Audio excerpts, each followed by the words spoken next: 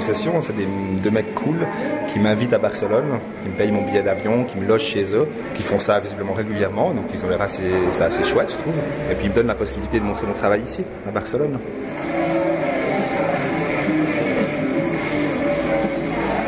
Artiste suisse de 25 ans, Augustin Rébété présentait son travail dans le nouveau lieu d'exposition d'Obsession.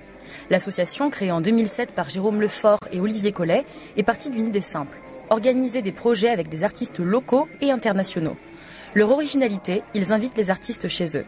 Les gens savaient où, ils mettaient les pieds. Les artistes, euh, je pense qu'ils ont été séduits un petit peu par l'initiative assez originale. Le fait de, que ce soit pas une résidence officielle, que ce soit un contexte domestique, les artistes produisent d'autres formes d'art qui sont pas le style de production que tu pourrais avoir ou dans une galerie ou dans, une, dans un centre d'art ou dans un musée, etc. Donc je pense que ça déclenche des mécanismes euh, qui sont sans doute plus relax, mais qui, qui, génèrent une certaine spontanéité artistique et sur le mode de, l'esquisse en fait de, de l'avant-projet.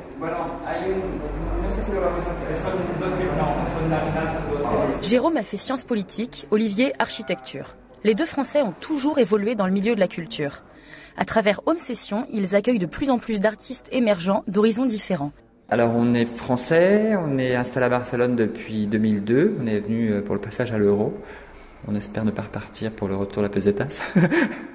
euh, on avait très envie de monter un projet artistique qui soit un, petit peu original, plus que faire des expos euh, chez nous.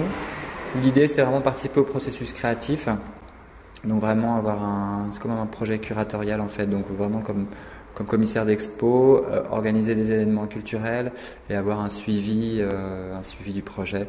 C'est une vue aussi assez large des arts visuels, c'est-à-dire ça peut aller euh, la création vidéo, installation, performance, photographie.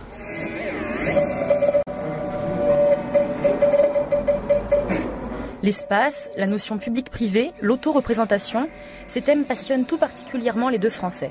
Mais c'est avant tout le cheminement créatif et artistique qui les intéresse. J'ai tendance à, adorer le, dernier truc qu'on a fait, mais le prochain sera encore mieux.